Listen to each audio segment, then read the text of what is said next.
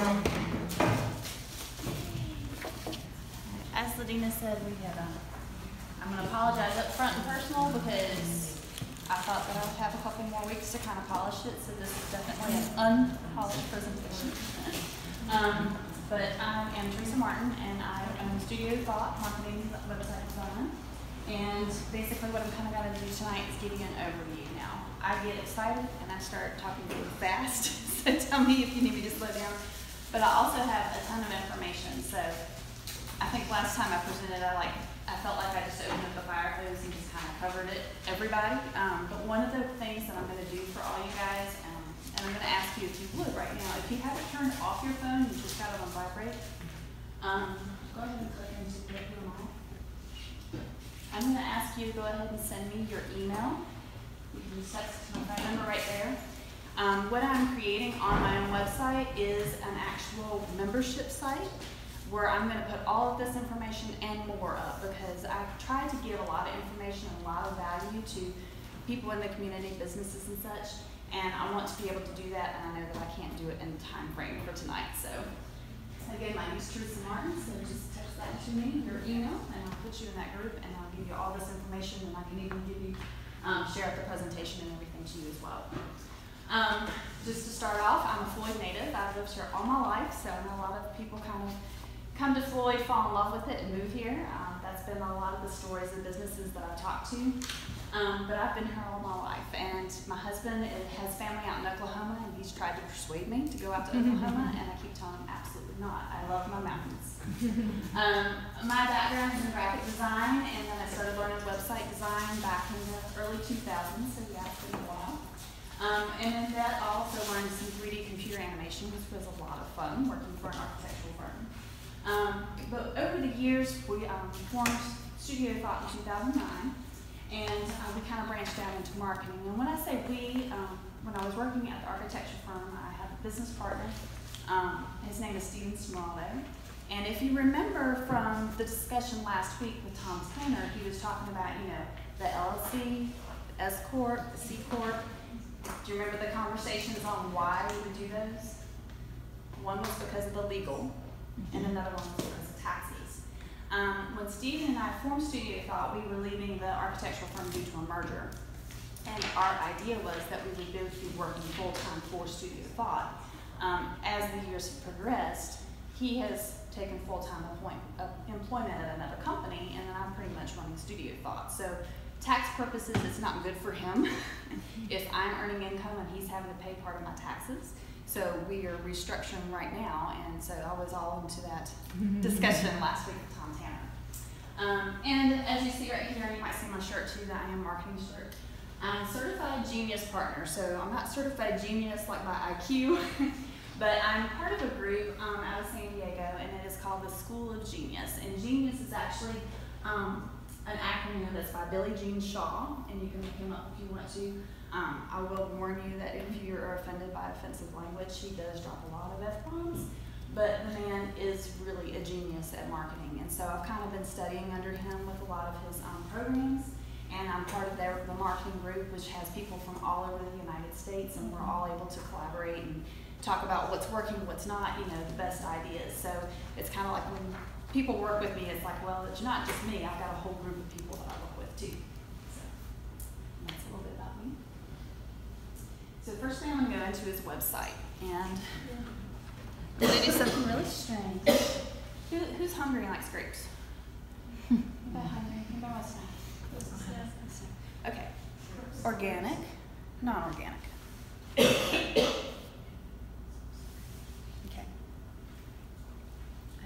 okay. I do not care. You do not care? I do not care either one. I care.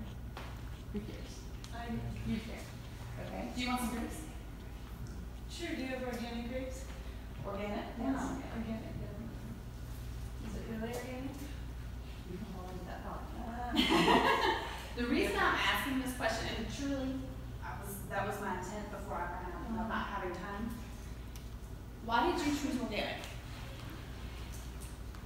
because it's a grape.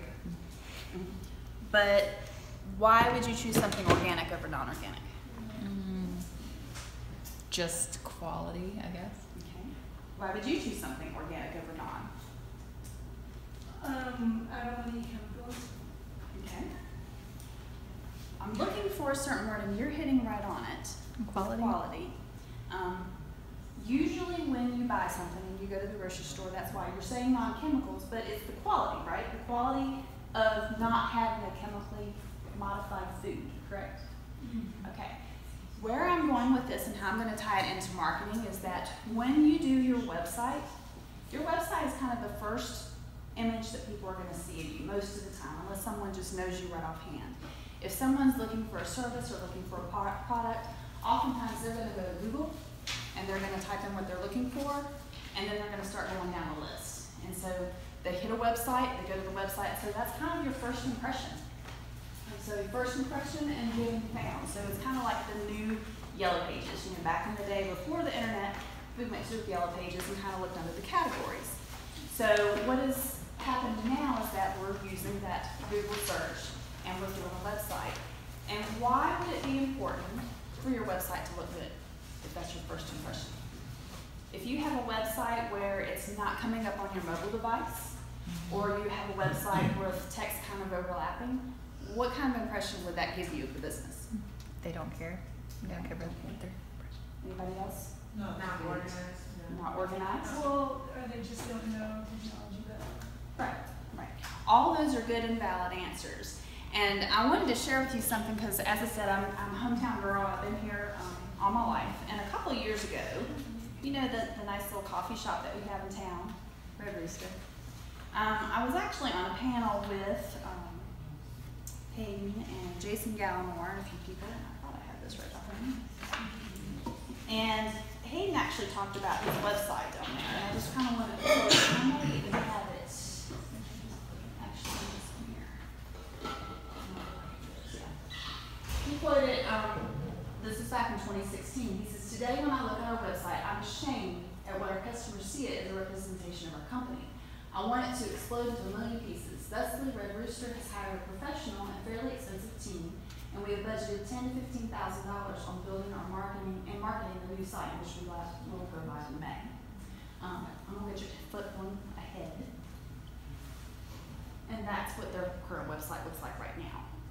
Now, I'm not telling you that you need to budget ten to fifteen thousand dollars, but my point is, is that he saw the need of needing a new website two years ago, and he invested the time and the money to get the quality site, so that when his customers come to his site, they see something of quality, and they can go in and they can do their ordering of their coffee online, and it's very well done.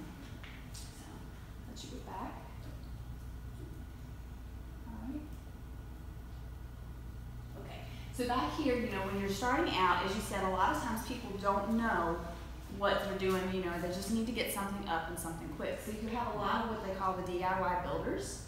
Um, so you've got Wix and Weebly, um, a lot of different things like web.com, and all these things. You can even get some GoDaddy sites. They have that, uh, a website builder within that now. They have Google Sites, which is, you know, you can go in there and relatively build a simple site. Um, it is cheaper and it is easier because, of course, if you're just trying to save money and try to get something up online quickly, this is it. Is it necessarily the quality? That can be, you know, you can beg to debate that. I've seen some really great sites done in Weebly and Wix, and so I'm not going to say that they're not good sites. Um, as a web designer myself, I just know that there's a lot more that I can do if I'm using something like WordPress. Um, you've also got Squarespace, and then I also, you know, a lot of people just develop completely in code.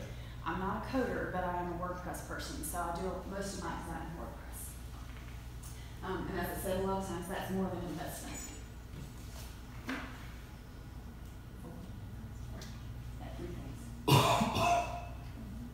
With your website, things that I wanted to kind of highlight that you must be doing right now.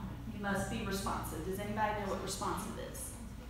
Then if somebody asks questions, you respond in, in a timely manner. Well, that would go into basically like your messaging. But responsive in the realm of is your website responsive is if you've got a phone or a tablet or a laptop, the screen, no matter which way you turn it, no matter what size that it is, it will be responsive to whatever device. So therefore, it looks nicely on whichever device that you have. Google is now requiring that sites be responsive. Now, that doesn't mean that they're not, they're gonna knock you off of Google if you don't have a responsive site, but for instance, there was a chiropractor that I was talking to down in Lynchburg, and she was paying for AdWords. She, she was paying for her site to be promoted to the top of the list. Yet at the same time, she did not have a responsive website, so at the same time, Google was knocking her back down. So where her ROI was in that, I'm not so sure. But she did, I talked to her about that, and I said, well, you know that this is something Google is requiring now. And she actually went ahead and redesigned her site so that it would be responsive. Um, second thing that I recommend for everybody is that you have, you have the pixel on your website. Does anybody know about the pixel or what a pixel is? Pixels and the dots in the picture. That's one definition of it, as far as when you're talking about imagery and photographs, how many pixels is in it, or dots per inch, or pixels per inch on your screen. Um, when I say that I recommend that the website be pixeled, what that means is that so often with Facebook being such a big, huge social media thing right now and being able to sell through uh, Facebook, you want your website to be able to talk to Facebook. And so there's a little snippet of code, and they call it the pixel. And if you have a Facebook page, you want to be able to connect and put that little snippet of code on your website. The reason for this is say if I'm searching for um, a new dog groomer, just throwing that out there. Um, if I'm searching for a dog groomer and I go to website or I go to Facebook and I'm looking for something like that, it's like, well, or let's say I start at the website, Google it and find one in the area. It's like, okay, well, I'll go check them out. If they've got a pixel on their website, through Facebook, they could then start marketing to everyone that has came to their website. So how that lights up, you know, in your brain is that, wow, you know, I have somebody who's already came to my website. They're obviously interested in my product or my service. Now I can use paid advertising through Facebook to send them messages or to send them an ad and say, hey, you know, I realized you visited our website. Did you know that we're offering a $20 special on dog grooming? And then I'd be like, oh yeah, I want to go there. I want to get that 20% off. So that's why that's so important. And you know, it's Facebook targeting, which I'll get into here in a little bit, is just such a much better way to get ROI on your advertising. So that's the other thing I always want to talk about. Um, and then grow your customer interest. You know, I think we all know that pretty much we are spastic people as far as it, you know, it takes a lot to grab our attention a lot of times anymore just because the world is so fast. And I think we've all heard about, you know, grabbing that customer interest right off the bat, you know, to keep them interested on your site surfing. And I've kind of um, put another little thing in here talking about landing pages for marketing. And I'll go into that a little bit further too. Does anyone know what a landing page is just by chance? Okay, okay, we'll go into that too.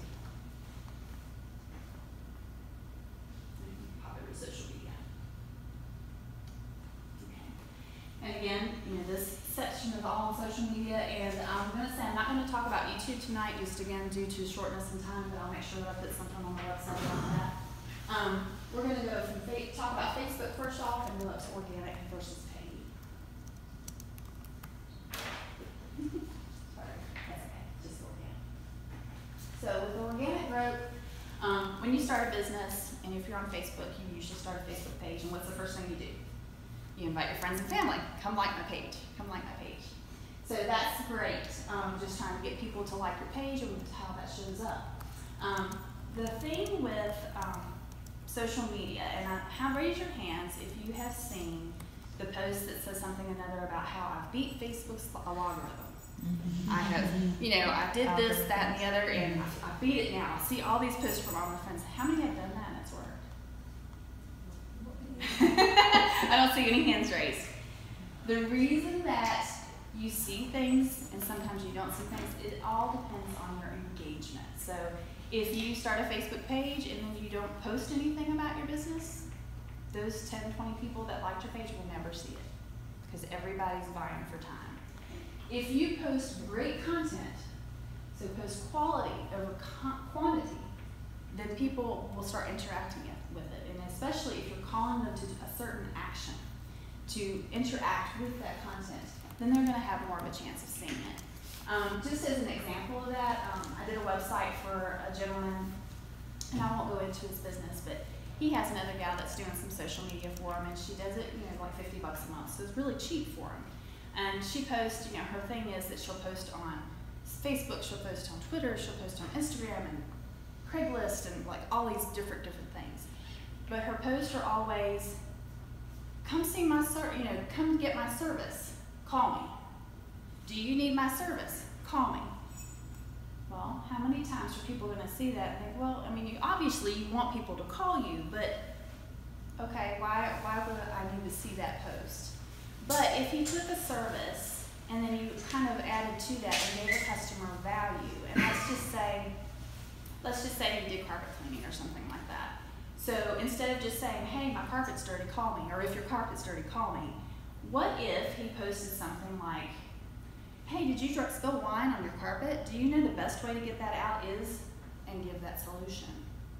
Someone scrolling Facebook might would see that, that likes his page, or you know, someone shared that post out or saw it, and it's like, oh yeah, somebody spilled wine the other night at that party. I'm gonna tag them in it. So they click share. They tag, hey Judy, did you see this? This will get your stain out. And that's how it all starts. So that engagements and having that quality over quantity in posting. Um, and again, you can extend, the next thing I've got up here is to extend your reach by using hashtags.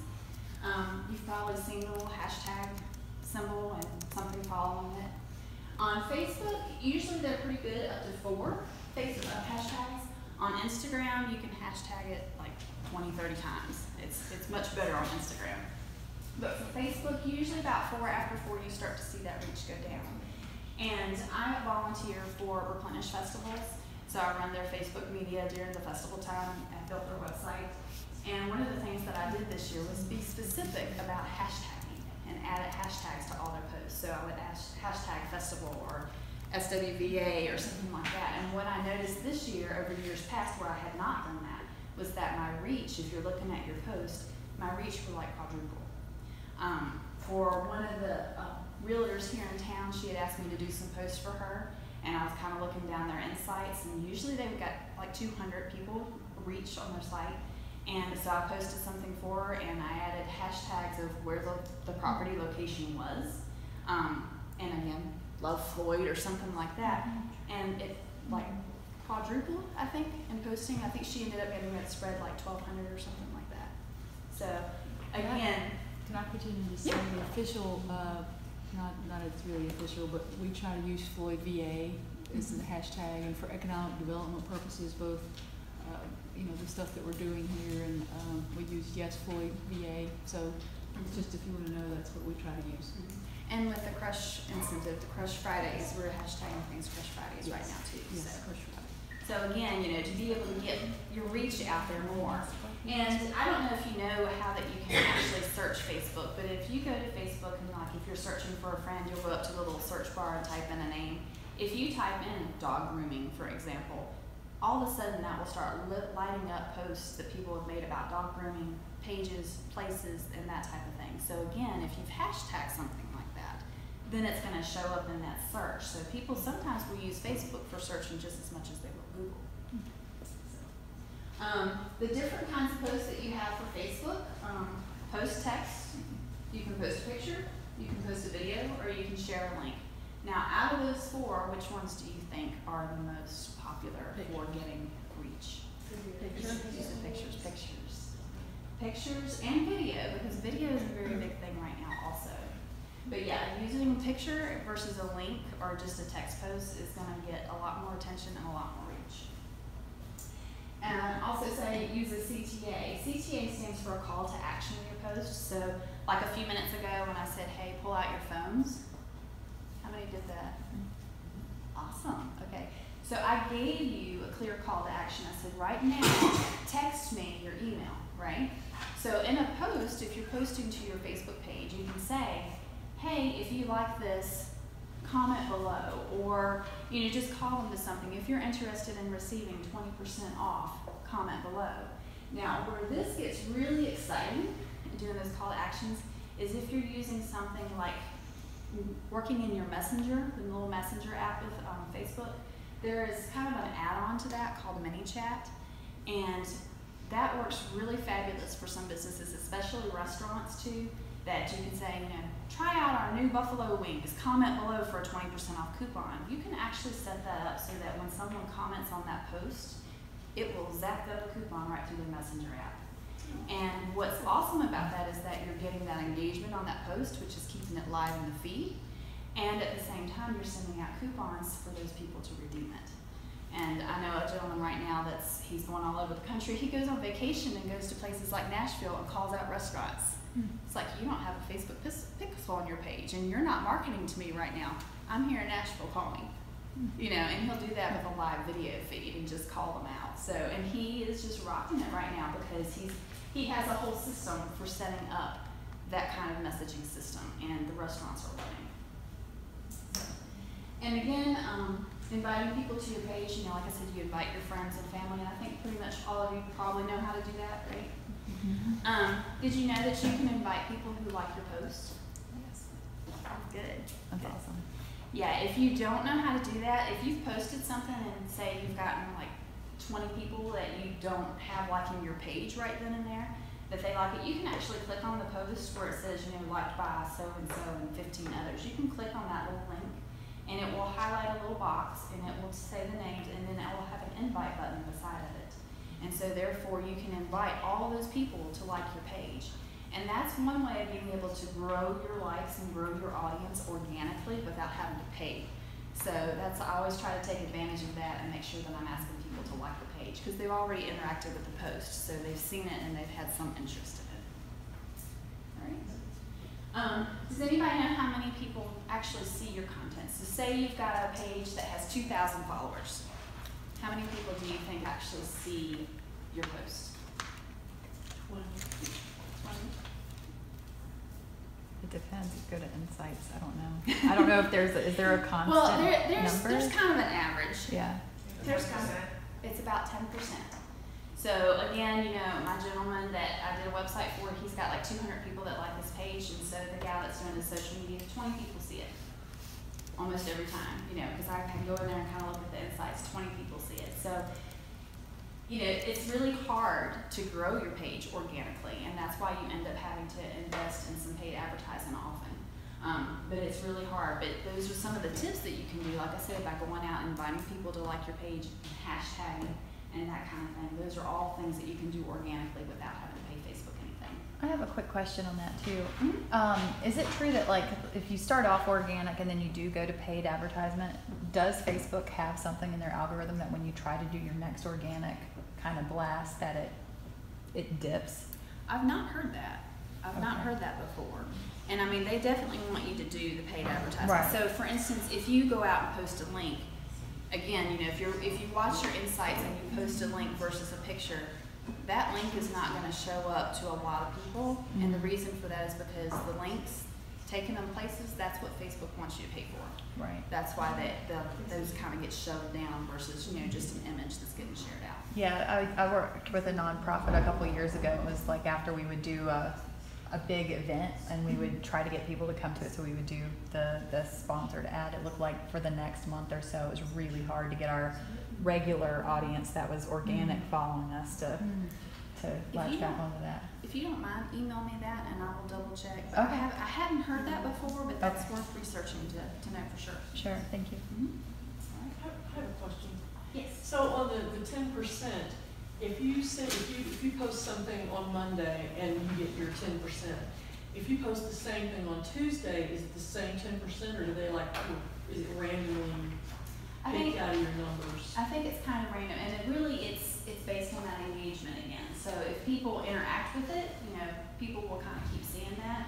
Um, if you're posting the same thing, I think Facebook will probably kind of start penalizing that if it's the exact same thing all the time. It's like, well, they're just, trying to post more. But, um, if you're trying to, again, get that interaction, that's really what you wanna go for, is to get that interaction and ask people to share content and to share, to like things, and you comment people and tag people so. So paid growth, as I was just saying, only about ten percent of your fans get to see your message, um, until you start using paid advertising. And when you start using paid advertising, you'll watch those insights explode. Um, and I had like something really crazy like 500 some thousand mm-hmm. percent. And yeah. it's like, wow, that's just crazy. Yeah. But they weren't getting a lot of interaction before then. Um, but again, once you start using it and you kind of learn the gist of it, you have some really great big wins on your engagement. Um, we already talked about hacking the, the Facebook live almost, oh, I can't say that word, algorithm. Always trip up over that. Um, so running an ad, bringing them to a landing page versus directly to your website. Um, I mentioned landing pages a while ago, and again, who knew? I think you said something about it. Does anybody else know what landing pages? The landing pages where your customers tend to land, I mean, if they're Googling a particular product, a page that they come in on or whatever. Right. And you can make them kind of basically have a specific purpose. So like when you go to a website, you usually have a, a navigation bar at the top where you can go check out the About Us, if they've got news, if they've got a blog, where they're located, how to contact them, all these bells and whistles, so to speak. Where with a landing page, you can basically knock all of that out and just bring them to the page. So when you're doing an advertisement, if you're saying, okay, fill out our form or join our email list and get ten percent off of, you know, whatever product or service, you bring them to the page, you don't want them to be distracted of, oh, what are they doing here? Or what other product do they have? So for instance, like I do website design and marketing. So if I were to run an ad specifically for marketing, when someone gets to my website, I'm not gonna want them to get distracted by my website design. I want them to kind of walk through that journey or basically a sales funnel to come through and say, I want you to do my social media, my, my, my marketing, my digital marketing. So what you'll do is you bring them to a page and you can build these pages on your website or you can build them on something like Leadpages or ClickFunnels. Um, those might be terms that you've heard, but those are different websites that you can subscribe to. And what that does is basically allow you to get what they call a higher converting page. So someone clicks on an ad, they go to the page, again, if they're wanting, you know, my, my digital advertising, so they come there and I say, okay, give me your information, and they click submit, so I've got their information. So it's just a much more strategic way of being able to kind of walk people through what you want them to do in order to help them. So, is anybody advertising for their businesses right now? You are? What are you using for advertisement right now? Um, well, I generally go through Instagram and Facebook, I pay attention at Facebook, but I don't see much positive return Okay, money in Facebook yet. okay, all right. Anybody else doing digital marketing or advertising, or are they using the newspaper or radio or? Nobody?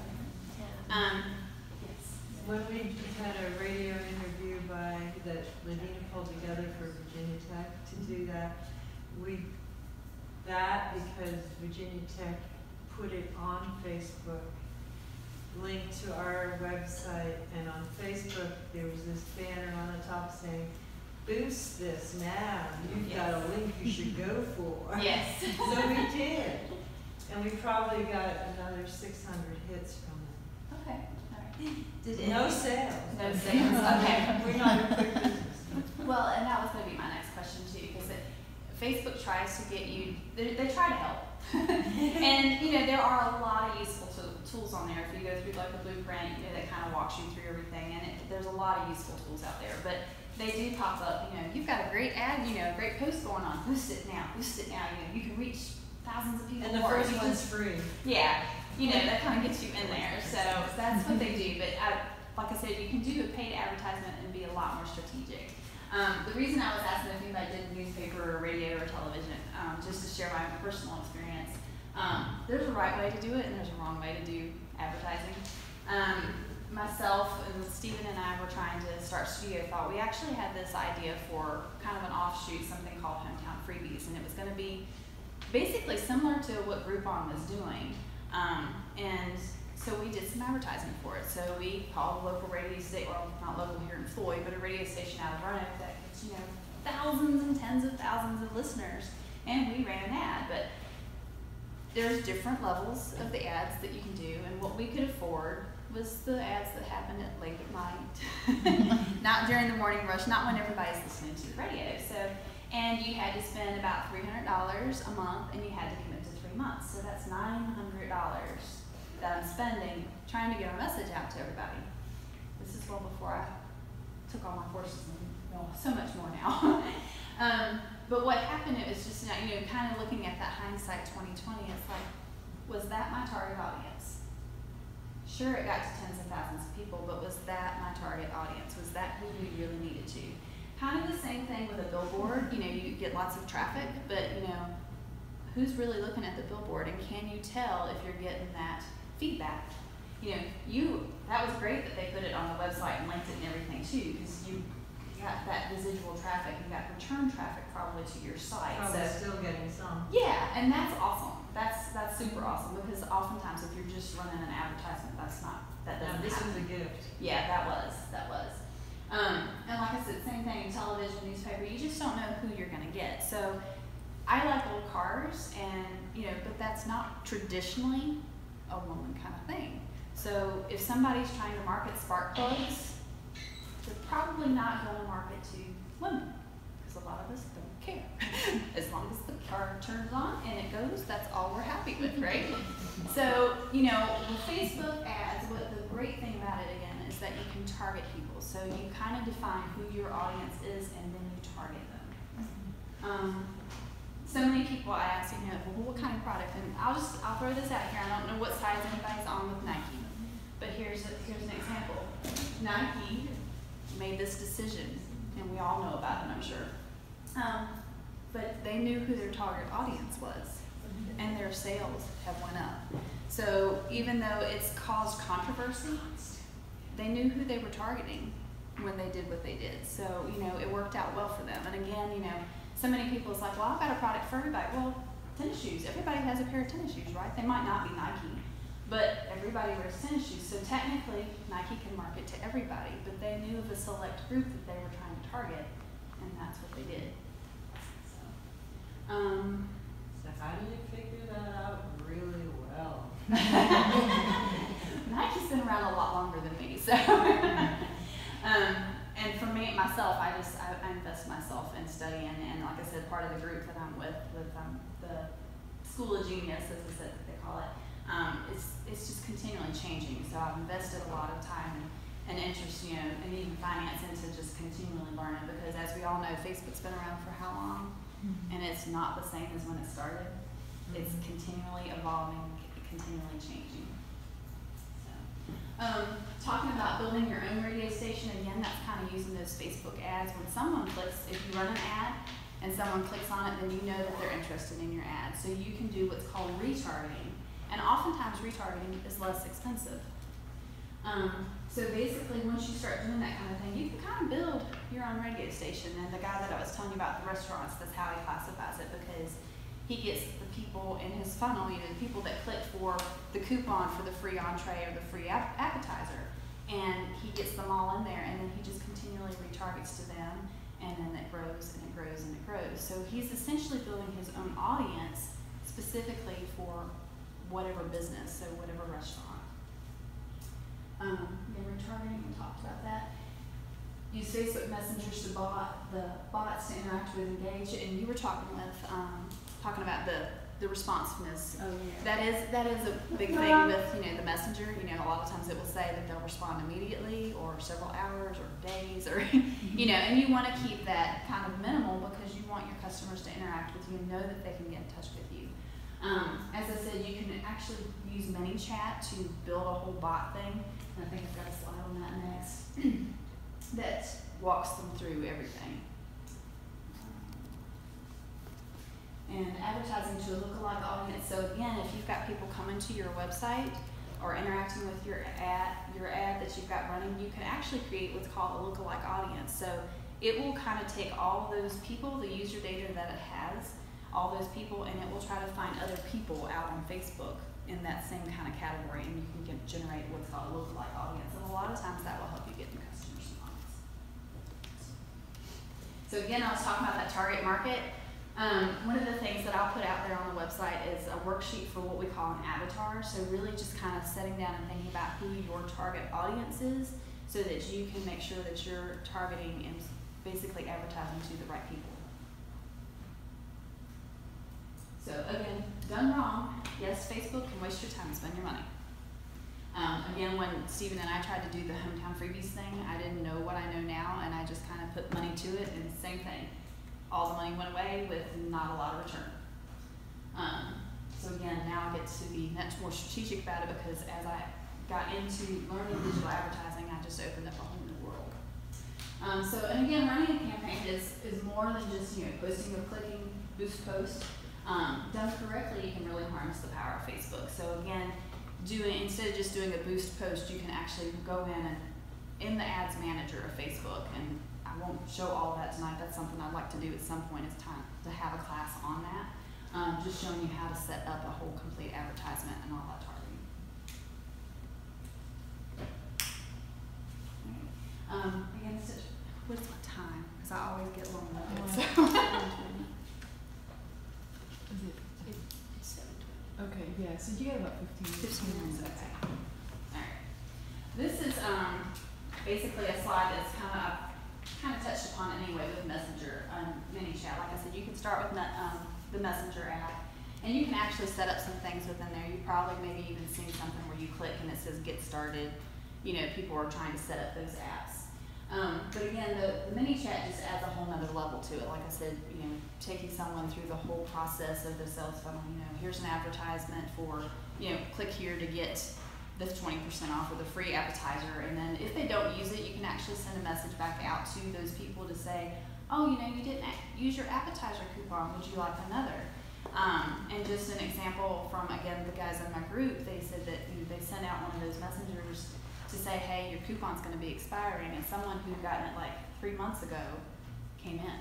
So you know, just that reminder, because we all get busy, and we get busy in our lives, and we can forget. So it's nice to be able to have ways that we can reach back out to our customers and remind them.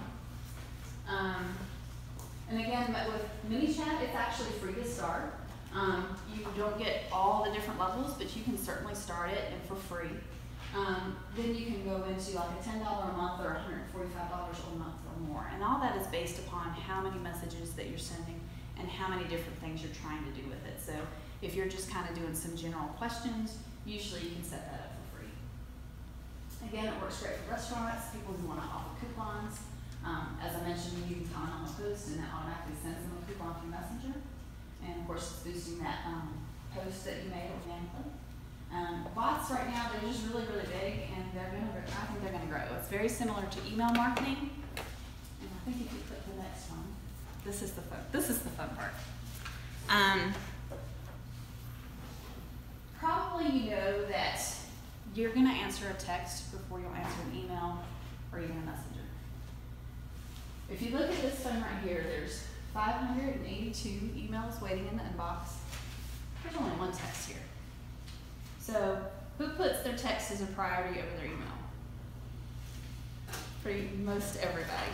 Um, Messenger is kind of the same way. It's similar to email marketing, but I find for myself, and you guys can raise your hands again too. Do you answer your messenger before you will your email? It pops up on your phone. You get a notification for it, right? Um, just for grins and giggles, how many unopened emails do you have? Who, who's got the highest number of unopened emails on their phone right now? I'll tell you mine, and I'll tell you why. well, I'll leave mine. Because this isn't my screenshot. Anybody got two thousand? Higher, lower, More than that. more than that? Okay, how many you got? I got eighteen thousand nine hundred one. Eighteen thousand nine hundred one, okay. I don't know if that's good or bad. Well, We'll we'll, we'll get, anybody got more than eighteen thousand? You're the winner, I'm gonna give you a candy bar. Wow. Don't know how to use computers. It just means I don't know how to use technology in that real. Well, if you're like me, now this is what I do, and that's why I was gonna share with you with mine. My, my phone probably has five email accounts coming to it, but one account is my junk account. You know, anytime that you go to a website, everybody's shaking their heads, oh yeah. Um, you go to a website and you really want the information, but you're afraid they're gonna start spamming you, and so they give you, you know, you wanna give them a bad email or just something that you don't check. One of mine has that. I have twenty-two thousand, so you almost beat Um, who has no unopened emails? I clear mine out. You do? Wow. She That's raised the her, nature of my business stuff. she's, she raised her hand first. um, I work with Chateau Morrisette and I'm their event planner. So Ah. when people want to do corporate events, they want a wedding, they want to make reservation, uh, just like with Stonewall Bed and Breakfast, they wanna do it now. Right. There's nothing worse than people wanting to get a hold of someone and not, and, and I'm that name on Chateau Morrisette site, so I have no option, it, it stays up twenty-four hours a day. Well, and that's great, you know, and you were just talking, you know, does that mean I'm just not, you know, just don't know computers or whatever? It's, like I said, it, it depends on who you are. I can't say that that's bad having that many, or that's good not having that many. Mm-hmm. It's just that, like you said, it's the nature of your business, and mm-hmm. you probably don't have one of those junk emails coming to your phone because you're interested in the emails that count. Yeah, I unsubscribe. If, if Right. it's something that, there's that, that very last little gray bar at the bottom that says unsubscribe. And on Mondays, I go through and I unsubscribe to everything that's not applicable Now, what I. I have a couple of that I've tried to get off their list. I, I did not go to Virginia Tech, but somehow I'm on the alumni Hokie list. I have unsubscribed several times because I'm not an alumni and I still get the emails. Um, political parties, I think I'm on every political parties and again, I've unsubscribed because I'm tired of hearing everybody and I can't get off the list. You know, so I don't know, I mean, it's really, technically it's illegal to be spamming people and not removing them from the list. I don't know how, if I could fight that and, but it's just delete, delete, or just let it sit there. Okay, so Instagram. Now, I'm gonna be upfront and forward with you that I am not an Instagram expert. However, what you do when you don't know something is you go to an expert and say, hey, tell me what you got, share with me your knowledge. So, um, I work with a guy that he does Instagram, and he's fabulous at it, he's actually, um, a musician as well as a marketer. So, you know, I asked him, I was like, can you give me some input? So on your handouts, that's pretty much what you had, I just copy pasted it. Um, so I don't know if you want me to read over those, but again, you know, Instagram is just the biggest thing for millennials right now. I think I have that, so yeah, you can each of those. Each of these are actually on the handout that you. So, and what he suggests, you know, is always using high resolution pictures, um, for your pro- profile. He says you need a good bio, and that needs to be about what you do, where you're located, and any other kind of quick information that your market might be captivated with. And he said it's best for posting, um, usually five times a week, and again, it's, it's similar to Facebook, that quality over quantity. Um, you definitely wanna keep engaging your customers, engaging the followers, but you don't wanna, you know, just give them silly stuff. Um, like call me.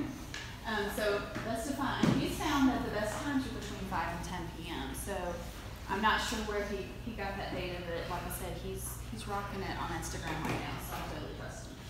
Um, your content has to be something that your audience is interested in, again, like deals.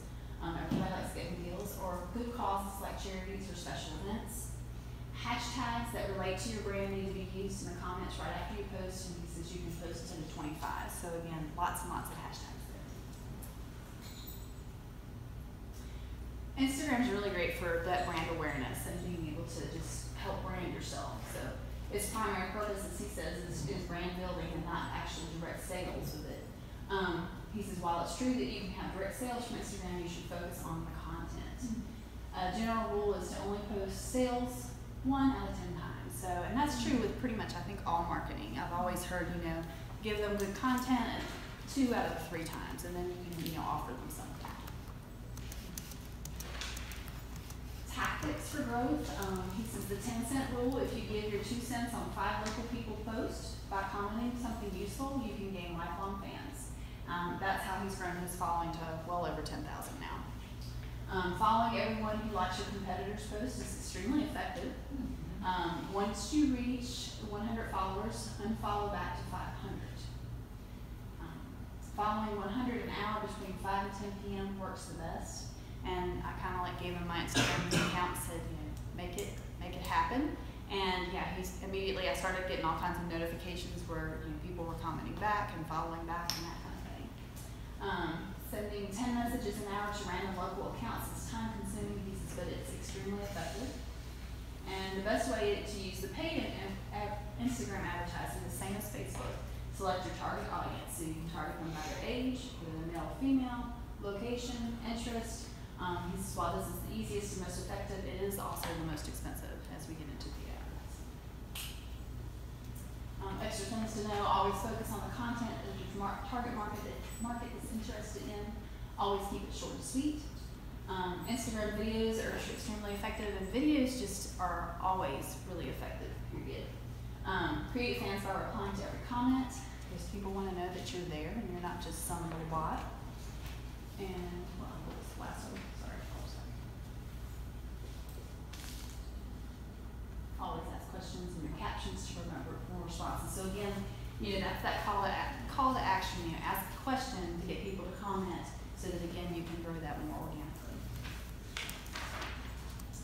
Um, and as I said, uh, you can visit StudioThought, and like I said, I will send you guys a link to the private membership on that, um, just so that you can see that. I'm not quite done yet, there's more to it. I think that was just, I wanna make sure that people knew that they could get the content. Um, tools and resources. Um, and again, just into the marketing, um, these are some of the tools like MailChimp.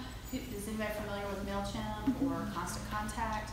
Okay, those I always recommend, especially MailChimp because it's free to, for the first so many, um, and that you can create your email list. And I'm always boggled by the amount of businesses that don't have an email list because those are the people that are interested that you can market back to. Um, so go ahead and the email list. Do you have a customer list? Um, one of the things that you wanna be doing is collecting the email addresses so that you can reach out to them. Collect phone numbers, because again, there is, um, there are apps where you can text people versus the, the email. And a lot of times, as I said, people will open that text first. It is more expensive, but it is, you get a lot more response from it. Um, again, these are just ways to stay in touch with your customers. You don't need to spam, them with five emails a day because they're going to quickly unsubscribe because they don't want that. But if you give them a chance, you know, you give them a chance to opt out and you give them content every day that they're appreciative of. Again, you know, not telling them, hey, call my carpet service, but telling them how they can get the wine stain out or the mud from the flood or, you know, that kind of thing. That's useful information that they're going to like and they're going to want to stay on the list. Um, then of course you can segment your list um, versus marketing cold people versus warm the cold warm audiences. Um, not sure how familiar people are with the marketing terms like that, but essentially cold is you know you're a brand new startup business, no one knows who you are, so it's really hard to like go out and talk to people about it. But as you start getting to know people, getting your face out there maybe on video, letting people get to know you, then the audience starts to warm up to you. It's like, oh yeah, just you know, like tonight you'll be like, oh yeah, that's that girl that does that web design stuff. That's Studio or you know, you might remember that versus if I just walked up on your street and talked to you, um, and then you'd be like, who is this girl and why is she talking to me? but again, we're in Floyd, so that's kind of normal. Um, another way to gain growth in your social media is using contests. Everybody loves contests. Um, so if you've got something that you can give away, you can um, basically set up whole different, lots of different things with that. There are paid ways to do it, but probably the easiest and cheap way, free way to do it is just to have a giveaway on Facebook. Make it a post and say comment on the post if you'd like to win. I think Citizens did that recently with Floyd Fest tickets. And so people just commented, and then there's a little comment picker, so it automatically goes through all the comments, grabs a name, and that's the winner. And so, you know, that's really simple and easy to do. And again, it's getting people to comment on your post, which is again going to grow it organically. Um, but always, always make sure you post who the winner is. Nothing's more frustrating than I entered this contest and I don't know who won. Did I win? I guess I didn't because I didn't get an email or I didn't see a post. So make sure that you do post a winner and What's even better is if the winner will let you do a video and say, hey, here's my tickets, you know, Floyd Fest tickets, yay. Because that will grow too, and people will like that. Um, just as an example, um, I'm a big TobyMac fan. I don't know if anybody knows who TobyMac is. um, he sent out an email. Here's, here's the way marketing works, and here's how it worked on me. Um, he sent out an email, and it was a movie that came out a few weeks ago, ago called Beautifully Broken. And it was about refugees and it was based on a true story. And I was sitting there reading my email while my dogs were playing outside, and I was like, you know, looks like that might be kind of a good movie. Um, I already have tickets to the concert November 1st. Um, in this email, he says, if you go to the movie, you take a picture. You, you saw that email too? You take a picture of your, your tickets. You don't have to take a picture of yourself, but you take a picture of your tickets and you post it on social media and hashtag beautifully broken film what they were going to do after the weekend, the, the opening weekend, they were going to take a winner, they were just going to pick a winner, and give them meet and greet passes and t-shirts at whatever concert that they went to. So my daughter and I, I'm like, okay, let's go. let's go do this, you know. Um, my son was wanting to see Megalodon, so I sent him into another theater with his cousin, and she and I went to the, the theater, Beautifully Broken. We did our selfie picture with our tickets. I posted it on Instagram, I posted it on Facebook, I shared it on Twitter, you know, I did all those little things. And come Tuesday morning, I had a little tip, uh, post back saying, Tracy, you're the winner. So yay, I get to go. But that's, you know, that contest kind of thing where you get people interacting. And what was interesting to me, you know, from the marketing aspect, because I was like, you know, searching the hashtags, okay, who, who's my competition? How much competition? What kind of chance do I have of winning this? And it really wasn't as much as I thought it would be. But again, this was a film that normally I probably wouldn't have gone to because I have kids. And we usually go to the animated flicks and Disney flicks and DreamWorks flicks, that kind of thing. And this was based on a true story, and it was not always a happy movie. It had a happy ending, but it went through the whole thing with Rwanda and the war and people being killed and that kind of thing. So, you know, it wasn't the happy movie starting off. So it wasn't a movie that I probably would have, but again, due to the marketing, it's like, well, yeah, let's go see this because it looked like it would have a good story by the end of it. And it was something too that taking my daughter there, she now knows that life is not the same in every aspect of the world as it is here in the United States. So it was kind of a, a, a moment, a teaching moment for me as a mom. So sorry to go off on a tangent there. um, again, the Gleam, that's um, just a, another app that I said you could pay for. And which you may have seen some of these contests where it's like if you like us on Facebook and you follow us on Twitter and you're kind of like checking the boxes and you get points. That's kind of what the Gleam app does, and it is a paid app to win those contests. Um,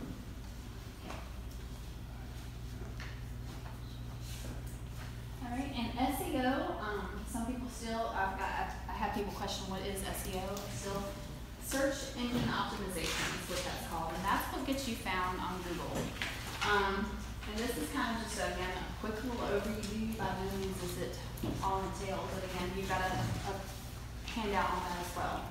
Um, first things first, register your business at business.google.com. What they'll do is they'll end up sending you a little postcard and it'll give you a little code that you can go back and it just verifies your business on Google. And that locally does wonders. So that's one of the things you want to make sure that you do. Um, if you're using WordPress in your website building, you can install a plugin that's free and it's called Yoast SEO. And if you're a blogger and you're blogging on your website or even just your pages, you can use that tool to kind of help key into those keywords and again, make it better SEO, make it be, be better found through search engine optimization. Um, these are some more little things like selecting the keywords for your business. Um, again, you don't want to just say restaurant. Okay, well, right, you're a restaurant, so what would you have? Maybe you're a seafood restaurant or a seafood that special seafood restaurant restaurant specializing in crab leg night, you know, that kind of thing. Um, you want to make it two to five words and be very specific about it. Um, you want to build your content around those keyword phrases, and again, that's on the handout. And I here, this is where a good web designer comes in handy because what happens with some of the sites, like the do-it-yourself sites with Wix and Weebly, um, they make it so easy to build your site that you're clicking in your pictures and you're putting in your pictures, but you don't put what they call a little alt.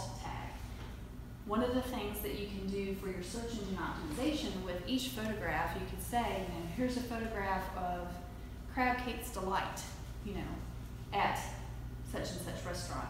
And that's going to help that, you know, again, you know, with your search engine optimization. But as I said, a lot of those sites, and I mean, you can do it, a lot of, not the best web designers too, as they're doing even in WordPress, you might get a professionally designed site. They may not put all those alt tags in those images either. So again, that's just a good practice to do, is to get that in there again, to be It's an alt tag, you click on the picture and it has a definition come up. Mhm. Yeah, you'll see like a description, and then a lot of times it'll say alt alt tag, and that's where you want to put in that just that little bit of data of what it is. So again, it gets helped you. You're able to be found easier on the search on the search to be clear. You know how Bing has that picture, and if you go s- different places on the picture, it has a little thing. Like a hotspot? It's not, a- it's, it's the difference between a caption and a, a search engine caption. So on your website, when you're building it, you can pop up your image and you can do a hidden text on your picture that sets the alt text. That's kind of what you're talking about, right? The Mhm. SEO Yes. text. Yeah. That's not something that, that someone scrolling to your site will see as like a caption of, hey, I was at a party. It's, um, it's a, it's a back end hidden alternate text on your picture that defines it to another level. Right. So like if you've got basket with food in it, then that's your subtext, that when someone searches on Mhm. Google basket with food, Mhm. that it takes it to that site, to that image. But they don't see just the text that says basket with food, you know what I'm saying. It's like, it's, it's hidden, it's hidden extra text within your site. For who? For your customer, like the world doesn't see that text, Hidden but it to- They're looking Provides at the the image. visual, it's a total connection with the search engines, but visually you won't see it. Yeah, it's not like a Right. subtext. It's behind the scenes, so Like to you speak. describe your business in different places on your website. Yes, mm-hmm. you hide your That keywords Google all picks it over. up. Right. Yes. Right. You keep hiding your oh. keywords everywhere. So I say, new basket, French basket, high basket, hidden basket. And people are like, oh, basket's everywhere. They don't see that. They don't see that, but when they type it in, When your they're website, your Yeah. images. Right, so like if you were to do a search after that, say maybe you did a search on baskets, well, then you might pop up something like you said, food basket, and it's like, oh, well, that looks like a nice food basket, and then click to that image, which would then take you to that site, so. Does that answer? Um, and then link, what we call link juice, is basically linking from other valuable websites. So, you know, when people are doing link building, they're usually reaching out to other websites and having them link back. So the more that you can get links back to your website and link out to others, which, you know, as a business in Floyd, I think most people would want to link out at some point to Floyd, you know, visit Floyd VA or, you know, some of the Floyd sites just to kind of get those linked in there. Um, the other thing that you want to do is submit your site or your, a single page even um, through Google Search Console and also on Bing. And I I don't use Bing a whole lot, so that's why I was like listening really intently on that because I wasn't sure exactly what you're talking about there for a second. Um, but you do need to register on there. Um, and then of course link a content piece through your social network. So if you're blogging, you know, blogging is always what's keeping your website kind of up to date and fresh. Um, so that's why people, you know, will do blogs and they like doing that kind of thing. But then you can post that out on your social media and of course drive the traffic back to your website again. So again, if you write, write a really nice piece and people start sharing it who may not have visited your website, they'll click on the link, they'll go to the website. If you've got that Facebook pixel, then you can retarget to them through an advertising campaign and say, hey, you know, we're- you interested in? And kind of write your ad from there. Um, you can also hire out SEO. Um, you know, some people are just like, I don't want to mess with that. Just somebody do it for me. Um, base, from what I understand, when I've asked people, you know, for doing SEO services, usually it runs about three hundred fifty dollars a month, and they want you to do it for three months because they want to be able to get it out there and, of course, see that return on your investment. So, Some people may charge higher, some people may charge lower, but that's kind of about the average that I've seen. Um, and again, video, I just, some people get used to it. There's so many people, it's like, I don't want to be on video. Please don't video me. um, but just watching my own husband come home from work, he, he kind of, he has a very physical, demanding job. So when he comes home, that's kind of his relaxation time. He, he never posts anything on Facebook, but he likes to scroll and he likes to watch videos. So he'll watch video after video. Um, and that's also what people will catch your attention. Um, one of the things that caught my attention again, my friend that's the, the musician, I was scrolling one day and saw him reindeer costume. And it's like, what, what? what is he doing in a reindeer costume? But it was about Christmas, and he was promoting his album, and that's what stopped me from scrolling. Because it's like, okay, here's this guy in this reindeer costume. What is he saying? So, of course, I had to stop and hit play.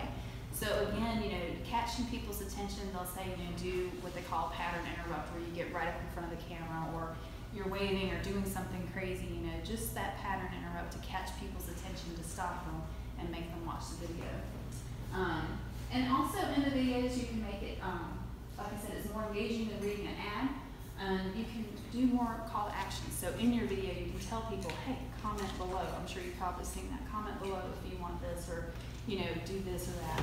So you can kind of call that out, and you have a little bit more leeway with that in advertising too, because you can get by with a few more things in video. And again, Facebook will give priority to your live feeds over anything else. So if you're sharing a video and somebody does a live video, they're gonna get priority over that live video. What do you mean live video versus sharing a video? Well, for instance, if you've recorded something or if you're just seeing a video somewhere else and you share that out, it's just gonna kind of go in that whole algorithm thing where again, you know, the images and the video is gonna be first. But if you, as a business owner, go live on your business page, say, hey, we're having a grand opening, we're gonna do ribbon cut, cutting on Monday at twelve o'clock, that video will get promoted up because it's a live feed. Facebook likes for you to stay on their platform. Um, and you'll get a lot more engagement because again, it's popping up. And you can actually tell people to follow you and have it, ask them to turn on their live notifications so that every time that you go live, if someone's scrolling, it'll pop up and tell them that you're live, and they'll flip over to it so that they can catch it. So, have you ever done live or know how to go live? Usually on your Facebook post, um, your feed, your news feed, of course, when you type in something or you click the image to, you know, select an image and share out, there's a little video button there too, and it will say, you know, you can do a video or do a live. And if you do a live, you know, what happens with that is that you can talk to and engage people right then and there. So again, you know, I was saying I like taking back. We went to a festival this summer up in Pennsylvania. And so kind of to let family know that, hey, we made it and got our camp set up. I, I did a Facebook Live while I was there. Gave them a whole tour of my tent and, you know, all the cool little things, you know. And my husband's like, hey, you know, I see this and what cool chairs. And, you know, they were just commenting. It was fun, you know, just to be able to talk to people. So, you know, when you relate that to your business and your marketing, you can always go out and like, I even see people that do um, LuLaRoe to do a live feed about when they get their clothes in, you know, and they're going live with, you know, what's in the box. And so she'll, this one lady that I know, she goes out and does a live feed, and you know, here's this shirt, here's this pants, here's this, and you know, it has a number, and people will comment, sold, I want that. So, you know, she's doing really well with her business, just being able to get people to purchase right then and there on their live feed. So they're doing smartphones and things like that to do the live feed, that's not computer. You can do You can- computer. Yeah, you can do it from your desktop also. I mean, it's usually just easier on your phone just to go live when you're on your phone. Of course, you know, I see so many people that, you know, they're just walking down the street talking to people. And like I was talking about the gentleman that was in Nashville, he was on his phone, you know, calling restaurants out with the restaurant sign behind him, that kind of thing. But you can do it from your computer too, and just, you know, like if you're doing something educational, um, you could say, you know, here's, I'm gonna share my screen and that kind of thing, and you can do it there on your computer also. So you don't have to have a smartphone. So I know there's, there's a few people that are like, I don't want a smartphone, I'm happy with my flip phone, leave me alone. So you can do it either way. So, Um, and again, like I said, teaching, you can record it once, and that's kind of what I thought I would try to out tonight is record it myself since it was kind of a unpolished, unpolished presentation. Um, and then you can teach multiple times because you can put it up as a webinar, or you can put it on your Facebook page, you can put it on your website. So, you know, I, I, I think about you with your personal training that you had, had going on, you know, where you could actually do something like that. You know, here's these different things that you can do, these certain exercises where if they can't get out of the house to go to the gym or they've got little ones that they can't take with them, you know, how different exercises that you can do just around the home. So, you know, there's multiple different things that you can do. So, um, and I have the question, what do you think is popular? But I think I already answered that at Facebook Live.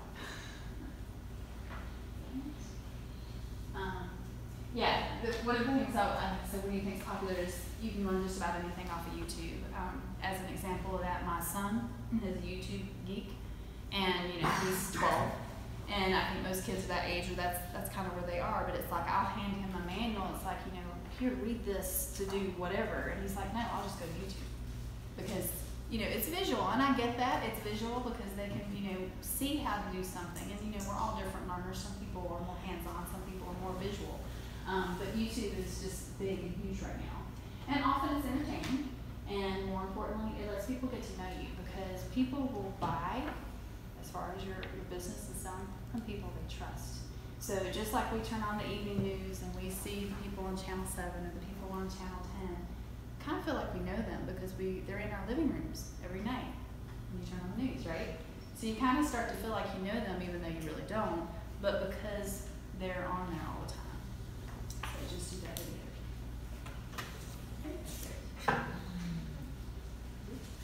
Okay. Okay.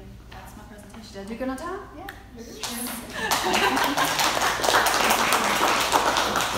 Uh, let's take a couple minute break and walk around and be sure and sign up if you're interested in some of those things.